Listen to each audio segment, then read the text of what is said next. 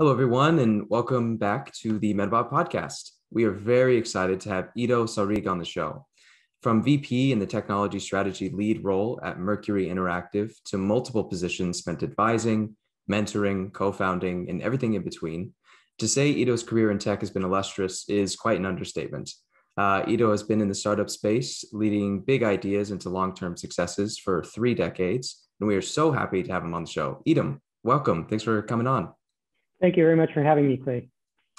Awesome. Uh, all right. So I want to jump right in it. So right after university, you began your career at Mercury, which is where I want to spend most of our time today, actually. Um, when you started at Mercury, there was just a 12 person team looking for their big break. How did you help get Mercury to a four and a half billion dollar acquisition by HP? It seems like quite the leap.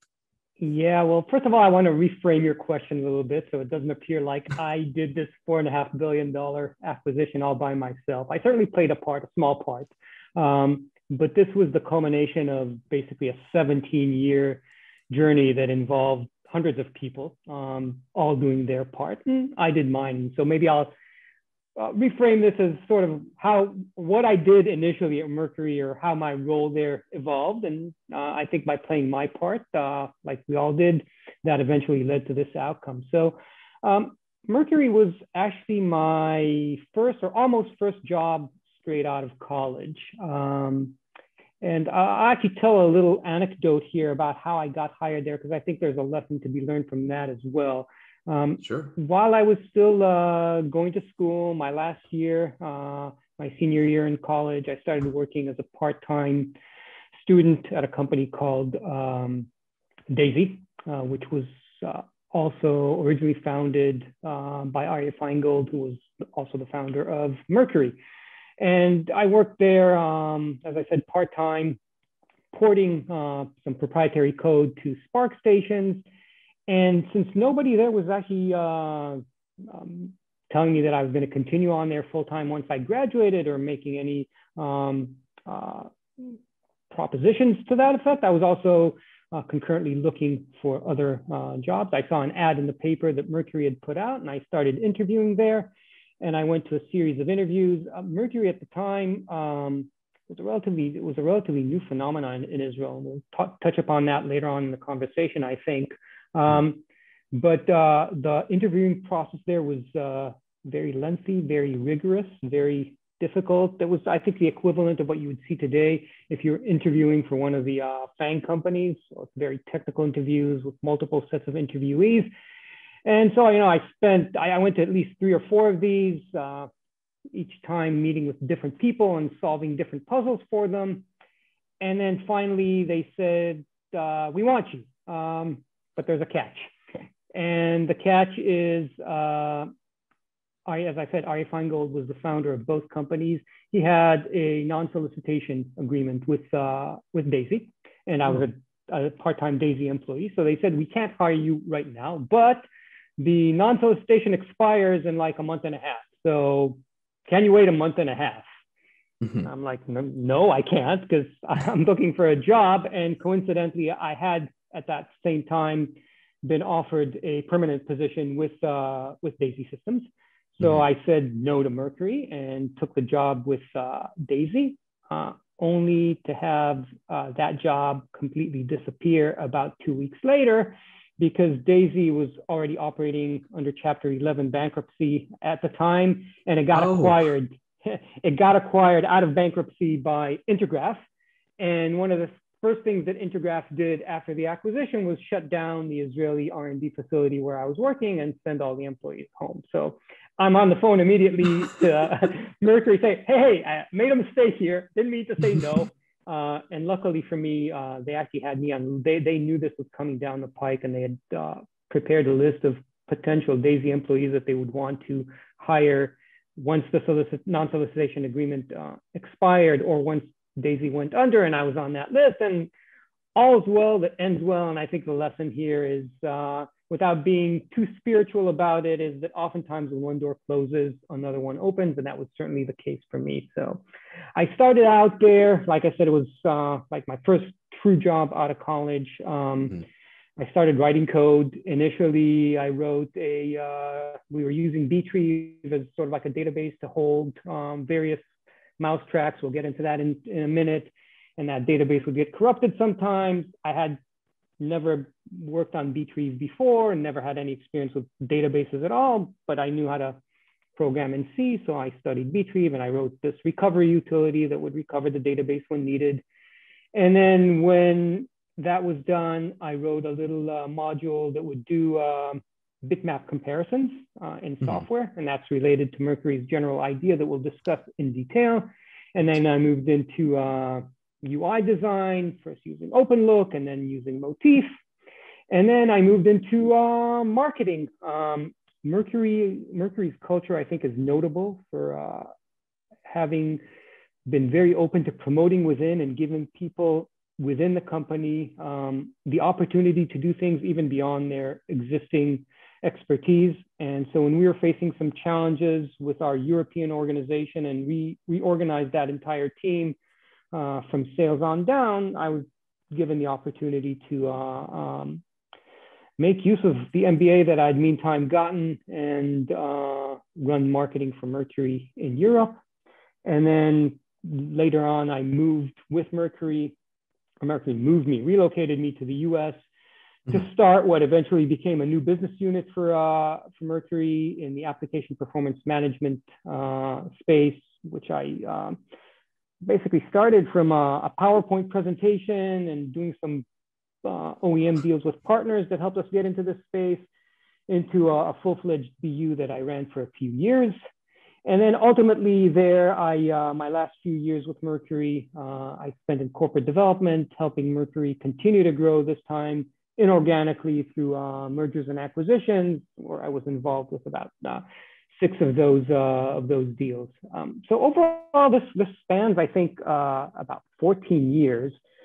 And you know, actually, when I left Mercury and uh, looked for other uh, other jobs after Mercury in the Silicon Valley, this was viewed as a as a negative. I, I, kept being asked in job interviews questions to the effect of, "What was wrong with you? Why'd you spend so much time with one company?" Um, oh. Because in the in the Valley, you know, it, it's quite often for people to you know spend two, three, maybe four years at a company and then move on to the next challenge.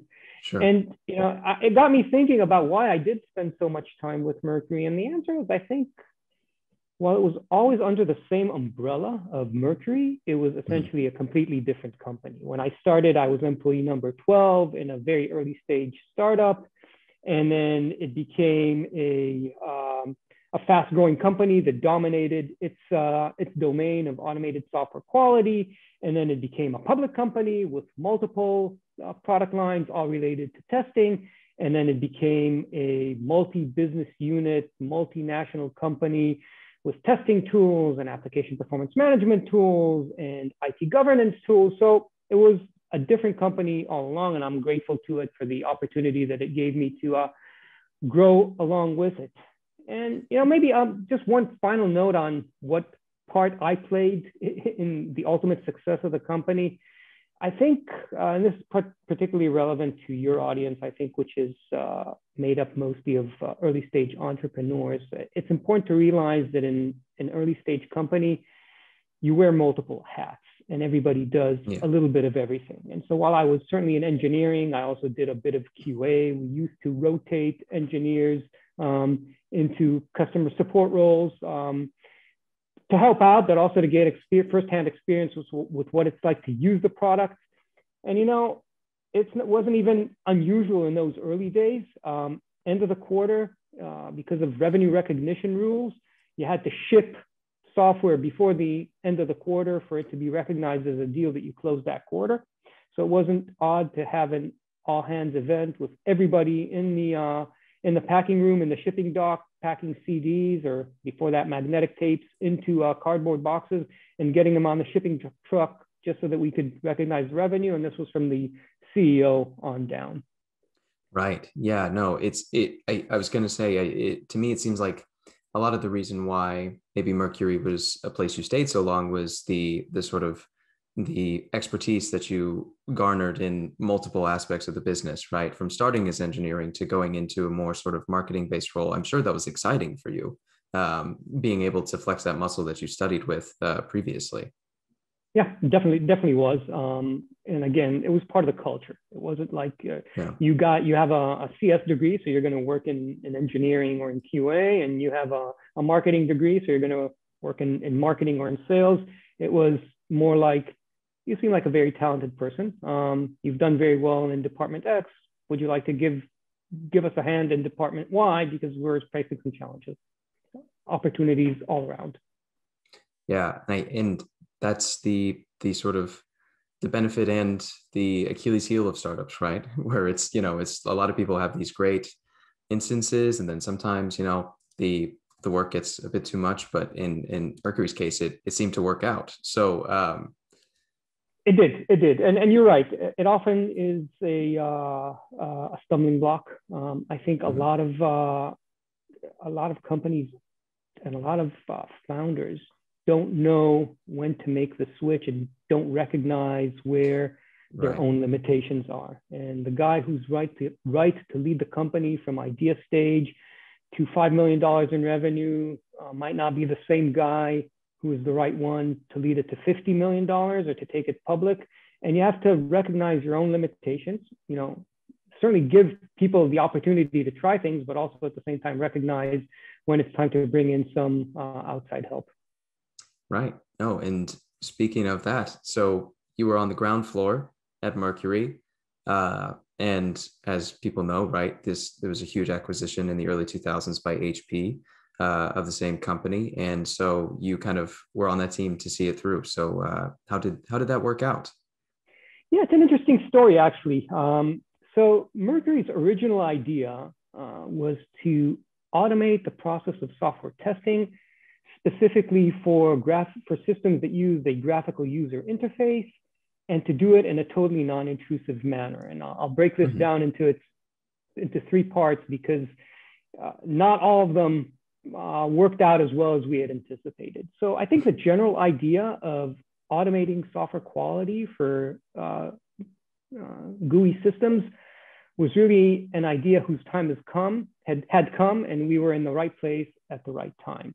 Um, graphical user interfaces were just uh, becoming popular and becoming successful uh, with things like the X Windows system, with things like early versions of Windows, and even before that, um, DOS applications that had a lot more graphics in them and you know primitive mouse activity of the day where you move the mouse between uh, textual cells.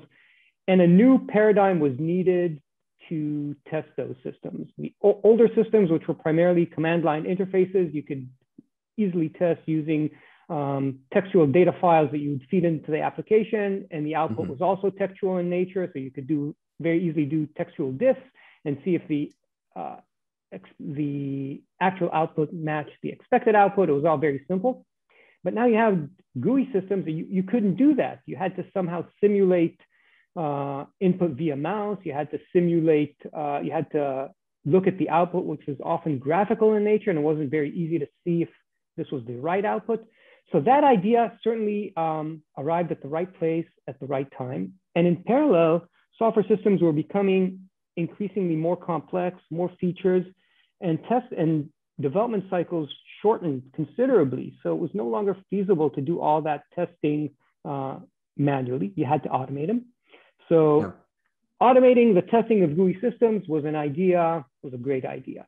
The non-intrusive part was not that great of an idea as it turned out. So it, it, the idea was basically that if you're going to test a system, you've got to do it completely from the outside. You can't be running software on the same computer that you're testing because running your own software, the testing software on the computer changes the system behavior, right? There's uh, additional context switches that have to happen between uh, the system under test and the system that you are testing with. Um, you're consuming memory, you're consuming other resources. From a purely uh, academic point of view, it is not correct to test uh, systems that way. Um, so we went about doing completely non-intrusive testing, meaning that in order to simulate uh, mouse activity for the purpose of testing. We mm-hmm. physically connected to the um, uh, to the wires that uh, connected the mouse to the computer, and we sent simulated electronic sim- signals as if the mouse was doing it, but we sent it through our, our wires. And we did the same thing for the keyboard. And in order to compare the results, we read the content of the memory chips that contained the uh, the the output, the the visual, the the memory sure. for the screen. Because you know, again, you, you don't want to do anything intrusive to do that. You don't want to run a, a module that would capture a bitmap and compare it because you're running it on the screen. And that part didn't actually um, turn out to be uh, all that great. It has a lot of theoretical appeal, but it turns out that for most customers, the hassle uh, associated with that um, was not worth the, the, the, strict adherence to academic principles. Um, it was hmm. only relevant for a very small, very narrow segment of the market. Um, military hardware uh, was one where this was very relevant. Um, embedded systems that were super time sensitive, um, it might have been relevant, but for the vast majority of customers, they couldn't care less.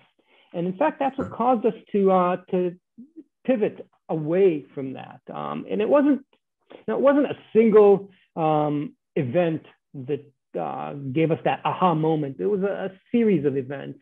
The first sure. one was that um, uh, customers would balk at the way we approached it. So our sales engineering team would come into a customer with um, PC cards, hardware cards, and alligator clips and screwdrivers, and they'd proceed, with the customer's permission, of course, to open up their, the uh, cases of the computers that we're going to test and insert our cards and connect the alligator clips to the mouse wires and so on.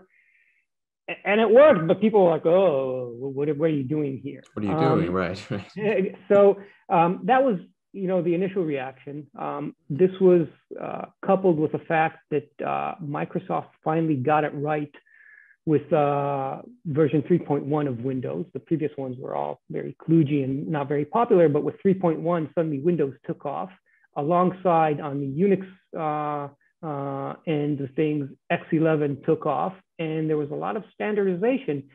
And we found out that really, in practical terms, people didn't care about non-intrusiveness. They cared more about more about standardization. Don't mess up our QA lab. Just come in and run software on the system. We don't care if it's not 100% perfect.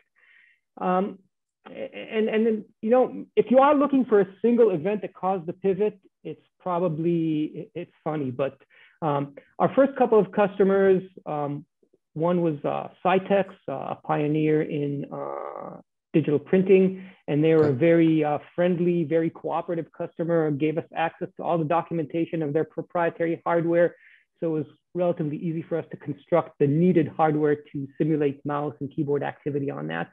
Mm. And the second one was uh, Metaphor, also uh, turned out to be a very friendly customer. And then the third one, we had to do the same thing for an Apollo uh, workstation. Apollo, most people don't even know this today, but it was uh, a predecessor to the engineering workstations that we know today that are made by Sun. It was eventually bought by HP.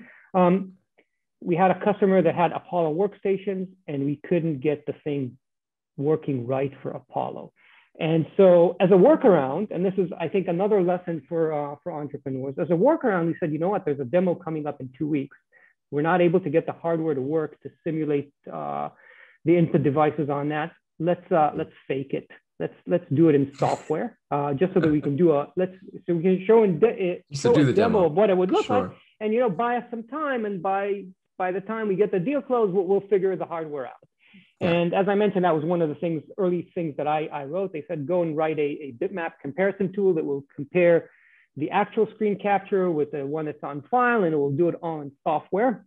And everybody was telling me, you know, that try to make it um, as optimal as possible so it will run fast enough so that it might be good enough for a demo. We know it's not a good enough solution. We'll have to do it in hardware because you can't do it fast enough in software.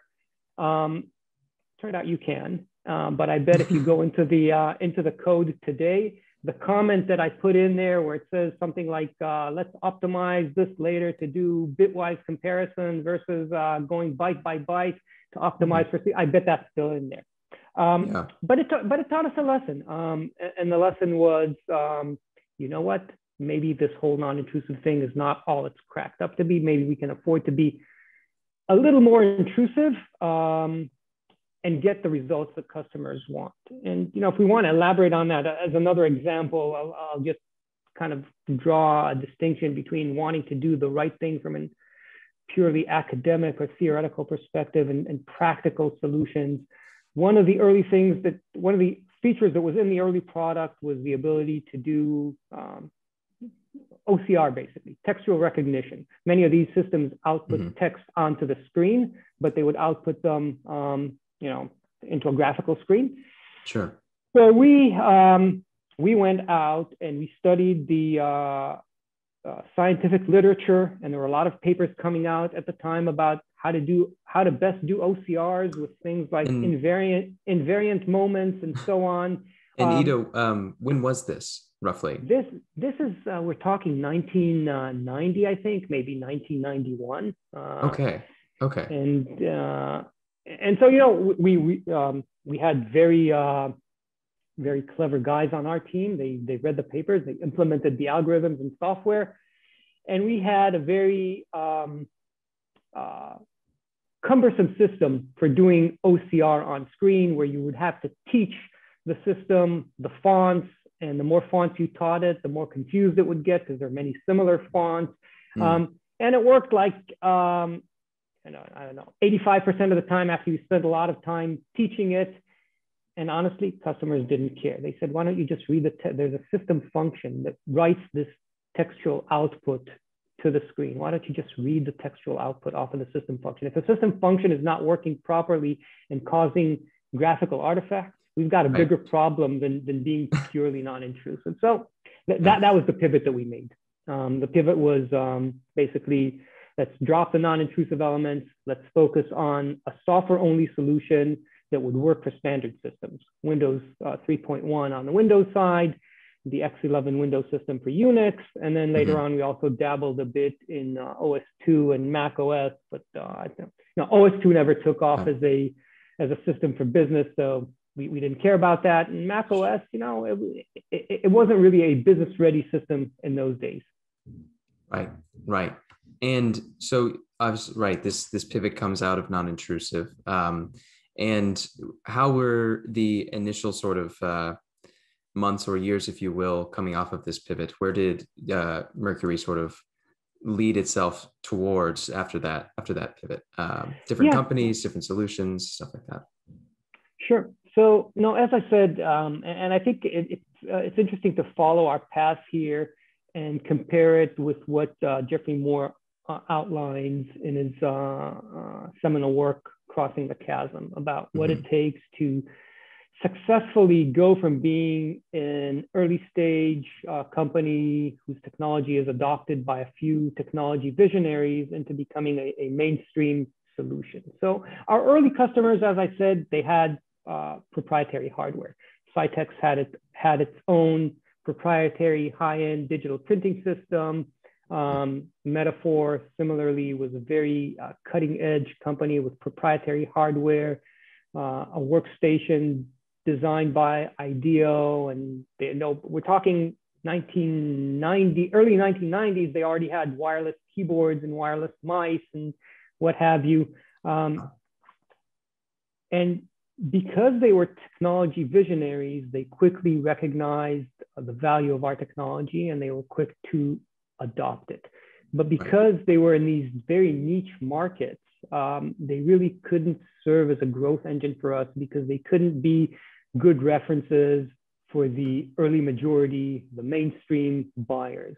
And I think one of the things that worked well for us is that um, we recognized the opportunity in standardized systems and we capitalized on it. So um, we continued to support those early customers. We eventually spun out this technology that was the, the non-intrusive part uh, with the physical hardware to simulate input devices.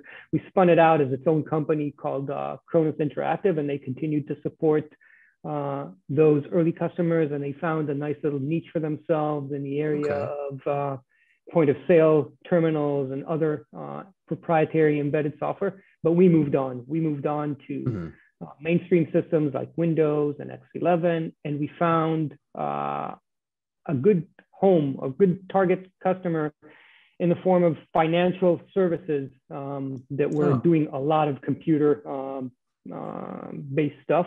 And we built the whole product for them. And building the whole product meant, you know, moving from our original Kludgy installation programs into something that used standard InstallShield and building a professional services organization that could help them get the software installed and get started and eventually evolve that into uh, an organization that could build testing centers of excellence. And we built integrations with um, client server systems initially and uh, fourth generation uh, application generators and later on with ERP systems so that all their testing needs could be met. And then we added on um, additional testing tools to do load testing and additional tools to do uh, test management of the entire testing process. Um, and then, as I said, eventually uh, evolved into a, a multi-business unit company beyond just testing to do uh, performance management, to do IT uh, governance. Um, and, and, that's really what got us the, the acceleration, the, the growth engine that, that we needed.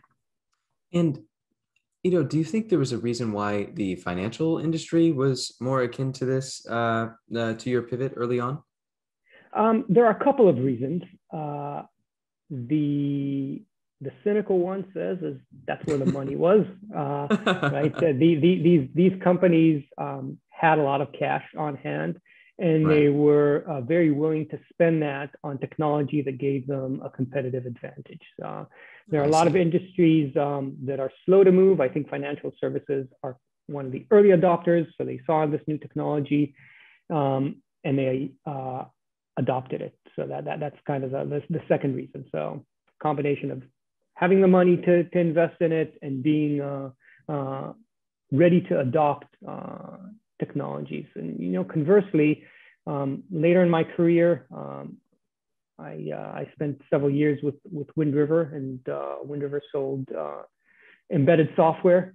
And okay. during the period of you know when in, the Internet of Things became became a thing.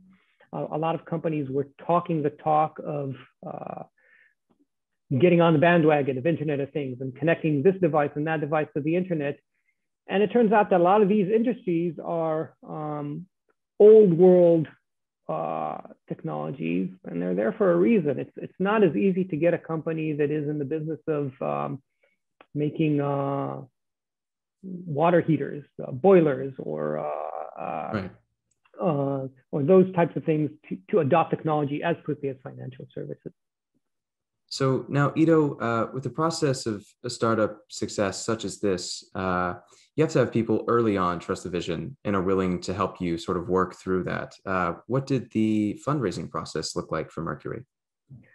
Sure. Um, so first of all, I think it was very different from what fundraising looks like today. And I also want to caveat and say that uh, when I started with Mercury, I started in the engineering organization. Um, I wasn't directly involved in any of the fundraising itself, but we did have a very open uh, corporate culture that shared what was going on as part of fundraising. So I, I do know a bit of the of the details, um, even though I wasn't directly involved. Um, mm. And when I say it was a, a, different world than it is today, I think it's something that uh, your audience might find a little bit hard to relate. When you look at um, uh, the, the, the, technology scene or the part that Israel plays in the technology scene today, it's it's really phenomenal, right? I mean, um, right. There are so many Israeli startups. Entire books have been written about the topic. You know, Startup Nation and what made Israel this uh, phenomena, where uh, it has the, the third largest number of uh, NASDAQ traded companies, only ranking just behind the US and China. So, I mean, the US is a $330 million, 330 million people country known for its technology uh, hotbeds like Silicon Valley. Uh, NASDAQ is in the US. And China, of course, is more than a billion people. And then here comes this country of 9 million people, just about. And it's the third rank there. So um, people are, are, almost at a loss to explain how that happened. Um, but today, every major VC firm um, has either an Israeli focused fund or they have a, an Israeli based partner that focuses just on Israeli investments. That was certainly not the case um, in the late 80s when Mercury raised its first round. And certainly played to our advantage was that the founder, um, Aryeh Feingold, was already a, mm-hmm. a very successful and very successful entrepreneur. He started Daisy. He saw Daisy through its IPO. It was a uh, several hundred million dollars uh, in sales.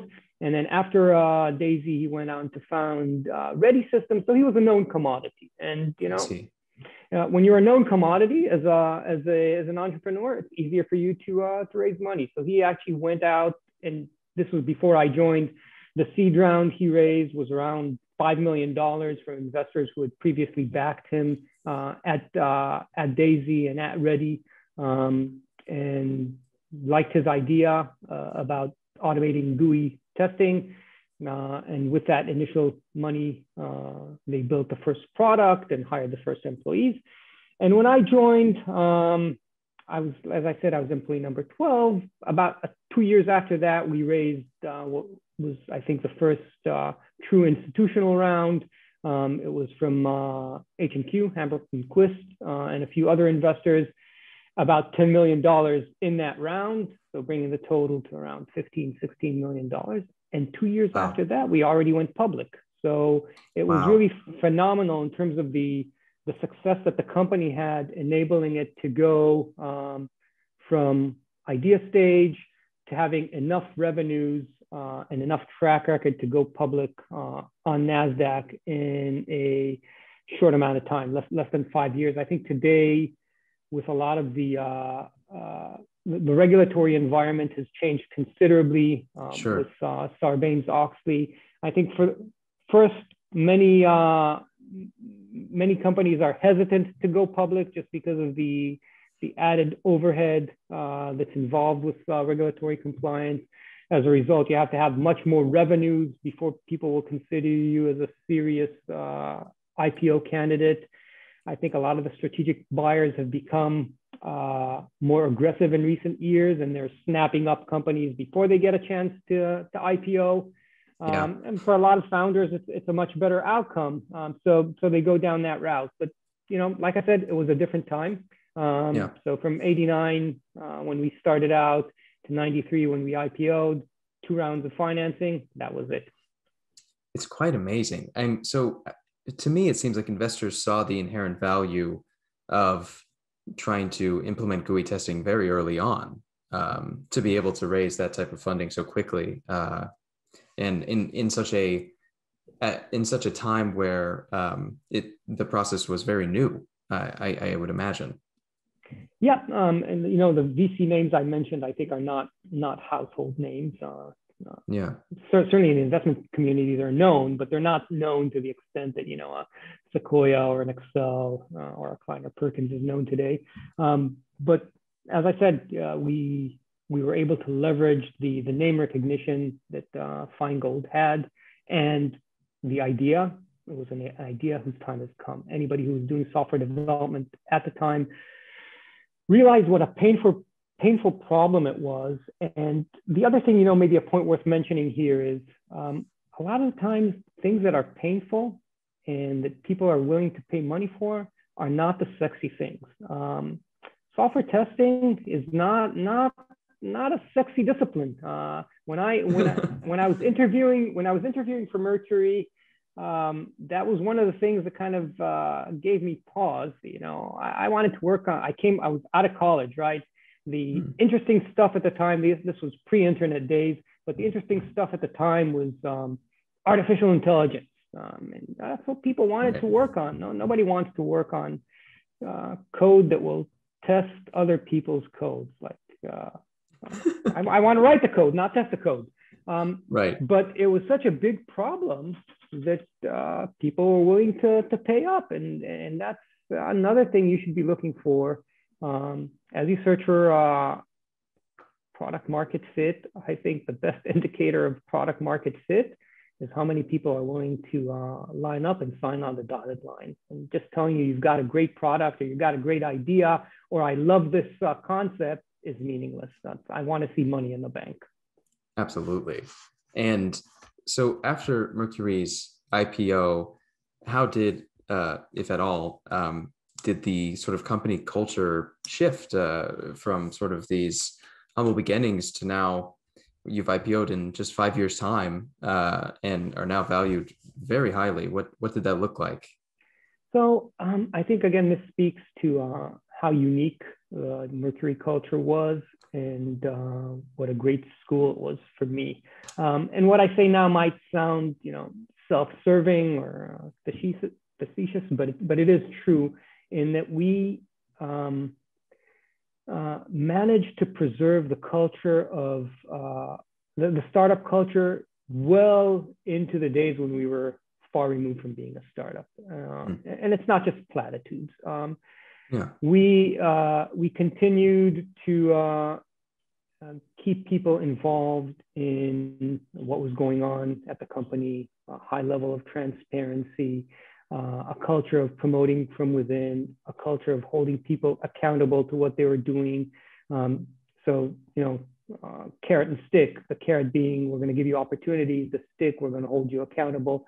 And so, you know, I, I don't want to pretend that when we were a uh, 1,200 person public company, we were just like a startup. We weren't, but sure. we still we were able to, I think, retain a lot of the qualities, uh, a lot of the uh, DNA of that smaller, uh, very agile, uh, very uh, quick to adapt company, even well after we were public and and making hundreds of millions of dollars a year.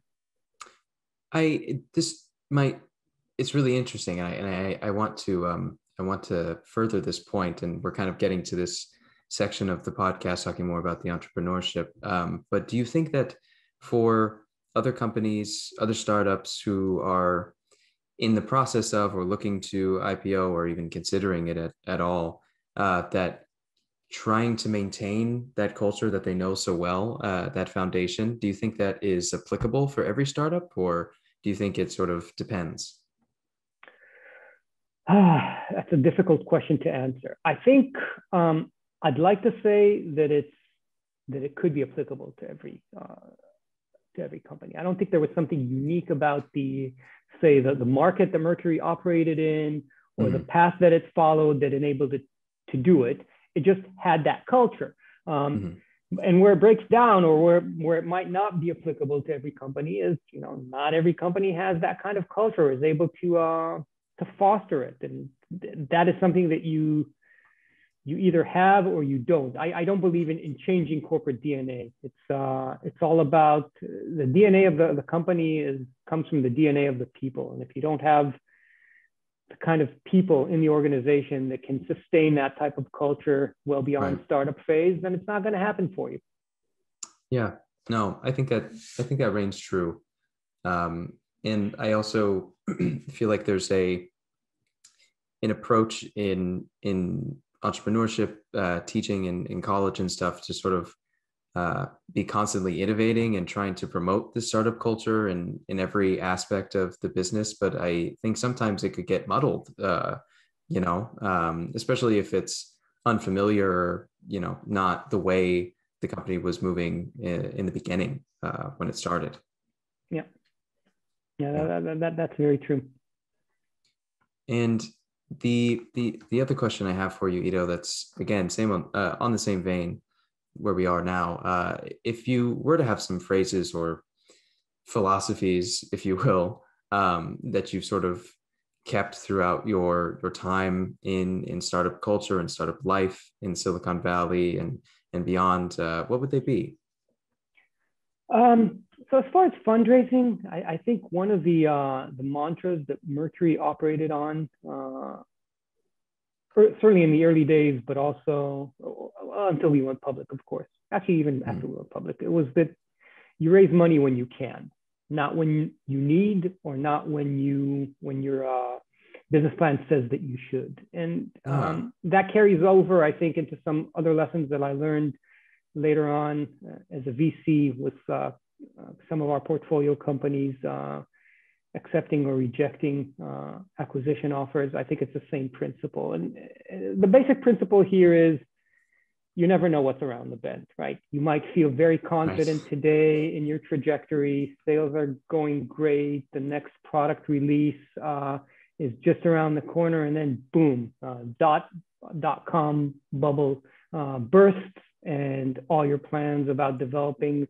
solutions for online retailers, you might as well shelve them. Or you know maybe there's a uh, a macroeconomic recession like the one that hit us in 07 and 08, or maybe there's a you know, very opportune, uh, very timely now, COVID outbreak that uh, shuts yeah. everything down. So um, if you don't have that cushion in the bank, uh, you're out of luck. So it's, it's always good to have that, that cushion. Um, I'm note here that I'm not advocating raising um, too much money, but if say you've got an A round and a B round and, it, and it's oversubscribed, uh, think long and hard before saying no to those other investors. Sometimes it's, it's better to uh, take a little bit more and have that cushion for another 18 months.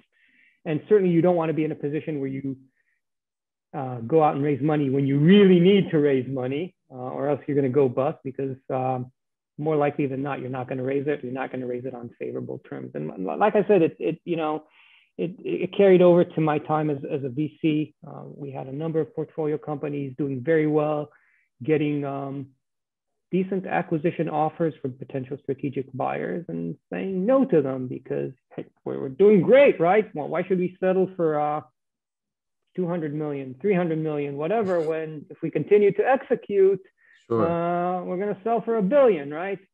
Well, the, the, if we continue that, that's a very big if on that. If we continue to execute, especially when not everything is under your control. Um, if everything was under your control, it'd be a different story. But there's all sorts of external factors that impact your business um, that, that you don't want to be in that situation. Makes total sense. Uh, Ido, I one final question before before we go here. With your experience, kind of both in engineering foundations as well as sort of the business end, uh, would you have any tips of advice maybe for someone who is either a business person or an engineering person who has a great idea but is not sure that they have the wherewithal per se to sort of manage one load over the other? Um, any advice to get going?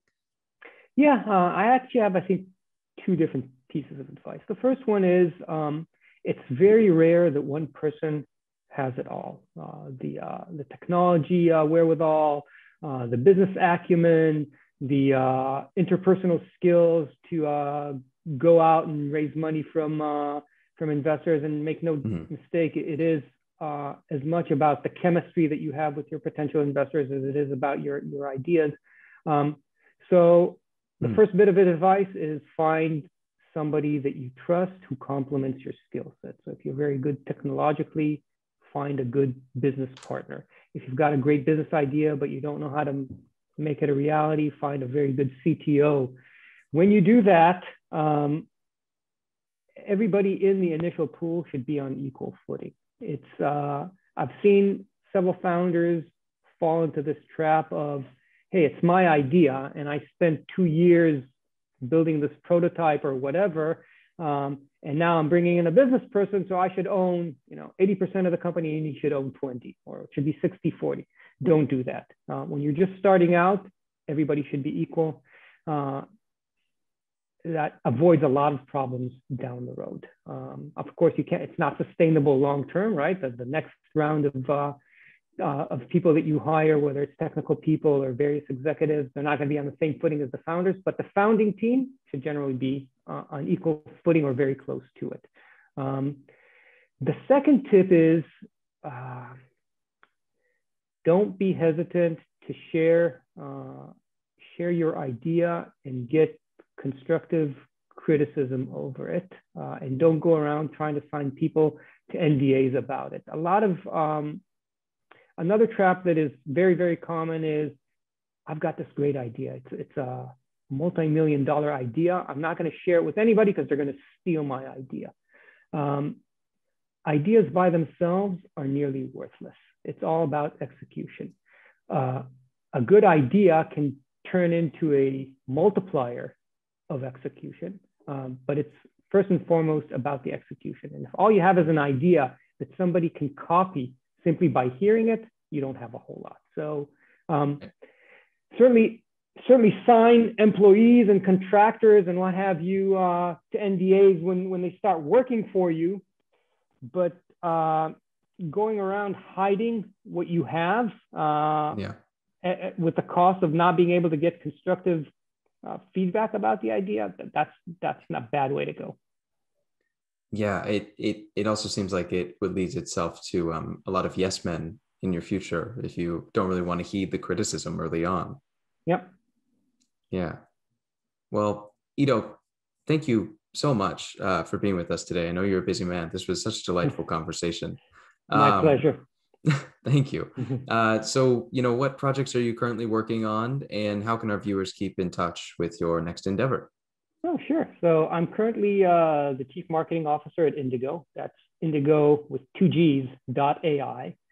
And what Indiggo has is a cloud solution that is purpose built for leaders and managers at every level uh, that helps them successfully execute on their top priorities. It keeps them focused on the 20% of things that will deliver 80% of the value to them. Um, it's very famous Pareto principle ap- applied to leadership yes. execution. Uh, it makes sure that they're constantly aligned uh, with their peers and with organizational uh, goals and priorities. And it connects their daily work to the broader corporate purpose, which is uh, a big, a big uh, theme today, uh, part of stakeholder capitalism. It's a big part of the, the G in ESG uh, metrics. How well mm. do you govern? How do you prevent employees from burning out? How do you uh, keep people motivated? And making sure that they see the connection between the particular task that they're doing today or this week or this month and the overall meaningful corporate purpose uh, is very important. And um, it's a framework that we created. It's called Return on Leadership, ROL for short. Um, and actually, like yeah, thank you. Um, that, that was done before my time. I don't want to take credit for that. uh, um, we recently used this framework, the, the ROL framework, to rank the leadership execution of America's uh, largest public companies. And we published this ranking uh, in partnership with uh, Fortune Magazine. You uh, can either go to uh, their site or you can go to our site, indiggo.ai slash ROL-100 to see the full ranking. And I'm betting that you would not uh, you would not guess who came out on the top spot. Oh, interesting. I will be sure to check that out afterwards. and we will put uh, both your website and the Fortune magazine link in our description as well. So viewers can check it out straight away. That sounds uh, great. Perfect. Ido, thank you so much again. You take care, and uh, I'm sure I'll be talking to you soon. Thank you very much, Klay. Take care. Thank you, Ido.